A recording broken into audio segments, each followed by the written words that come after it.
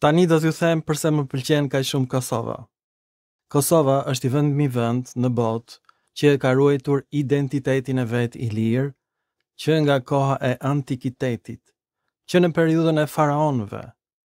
Ata regjistruan emrin Derdein. Ishin njerëz të detit pellazgë që u përleshën me trupat e faraonit në vitet 1200 para erës sonë. Dhe ky emër na ka ardhur deri në ditët e sotme. Pra janë të vetmit ilirë që jetojnë dhe mbajnë gjallë gjuhën shqipe. Gjuha dardane u rrënua nga autorët e Akademisë së Shkencave të Shqipërisë, që zhdukën të gjitha dialektet gege dhe i shkatërruan me një gjuhë të përzier vlleho shqiptare të dialektit të Elbasanit. Kjo është gjuha zyrtare e Shqipërisë dhe që për fat keq gazetarët kosovarë, intelektualët kosovarë e pranuan për të krijuar një front të përbashkët kundër pushtuesit serb. Mirëpo tani Kosova është çliruar dhe duhet të kthehemi tek rrënjët tona ilire. Ndërkohë, Gjatë studimit të gjuhës dardane, të dialekteve gege, unë kam vënë re që ka një ngjashmëri shumë të madhe midis gjuhës ilire dhe gjuhës sllave. Dhe një nga këto fjalë të ngjashme midis ilirishtes dhe gjuhëve sllave është emri i lumit në Kosovë Junik. Dhe fjala Junik do të thotë djalë i ri, hero.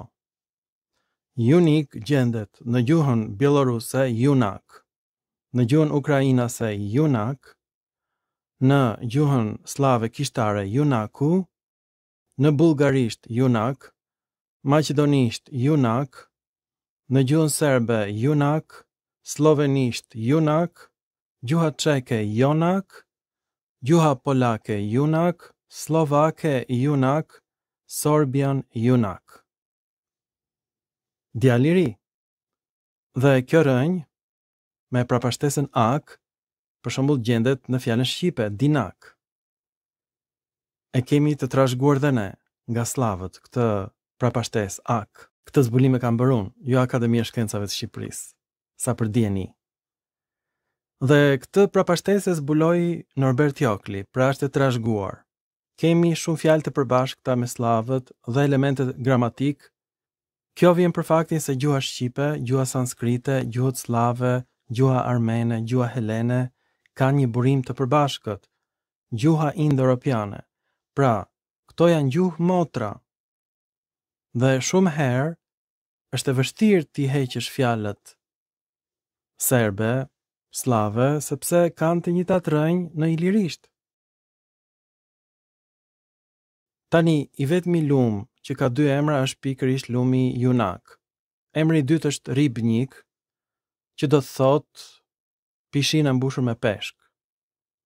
Kjo vjen nga fjala ryba, që i thonë peshkut. Pra, edhe fjala Junak, edhe Ribnik janë formuar me të njëjtën prapashtesë, ak ose ik. Tani mua më ka bërë shumë përshtypje, sepse pikërisht ky lum ka një emër tjetër serb, Erenjik.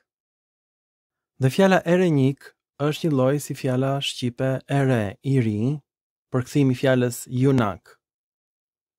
Pra, Erenik ka shumë mundësi që të ketë një rrënjë ilire, e re, me prapashtesën njik, që është krijuar njëlloj sipas modelit Junak dhe Ribnjik. Të dyja janë emra të shkëmbyshëm në gjuhën serbe. Por fjalën Erenjik unë nuk e kam gjetur në asnjë dialekt sllav. Dhe unë ju bëj pyetje të gjithë shqiptarëve të Kosovës, sepse ata e njohin mirë serbishten, si gjuhë të pushtuesve të tyre, për fat keq, vëllezër. Dhe dua t'i pyes çfarë kuptimi ka në ndonjë dialekt, sepse nga disa herë ka ndodhur që ka patur dialekte që nuk njihen nga serbët, dialekte për shembull si Torlakian, që është një dialekt iliro shqiptar dhe pak serb. Dhe kjo dallohet me emrat në rasën gjinore shumës që mbarojnë me va, si për shembull Tetova, Kosova. Këto janë emra në gjinore shumës që përkojnë me fjalën koinon, për shembull Damastinon, në numrin shumës në ilirisht, gjinore. Pra të gjitha emrat që mbarojnë me va në shumës dhe janë bërë pastaj një shumës i singularizuar në shqip, kanë si model strukturën e gjuhës ilire, koinon plus emrin e qytetit në shumës.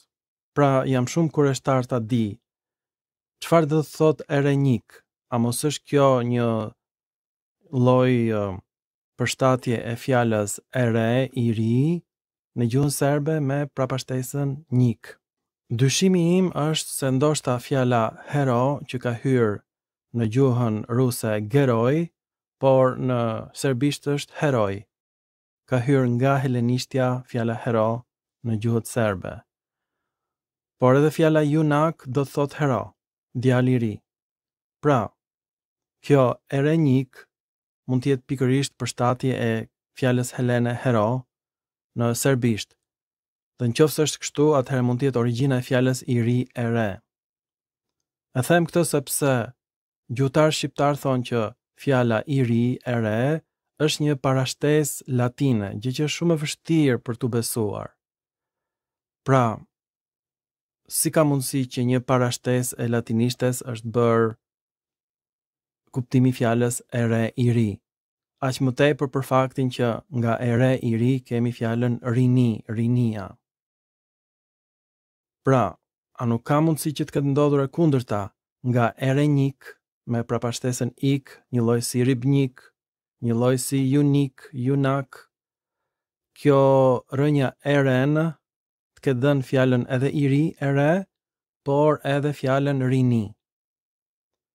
Ju lutem shumë, më shkruani të dashur shqiptarë nga Mali i Zi, Maqedonia dhe nga Kosova se mos ka ndonjë dialekt që e përshkruan këtë fjalë erenik në ndonjë dialekt shqiptaro serb ose shqiptaro maqedonas, mos është përshtatja e fjalës helene, hero, në Erenik apo përkthim drejtpërdrejt nga shqipja, Junik Erenik. Në qoftë se është përkthim i drejtpërdrejtë nga shqipja, Junak, Junik, Erenik, atëherë kjo është një fjalë e lashtë ilire. E ruajtur nga një dialekt serb, emri i lumit Junik. Ju faleminderit shumë të dashur shqiptarë për vëmendjen dhe mirupafshim në filma të tjerë shkencorë.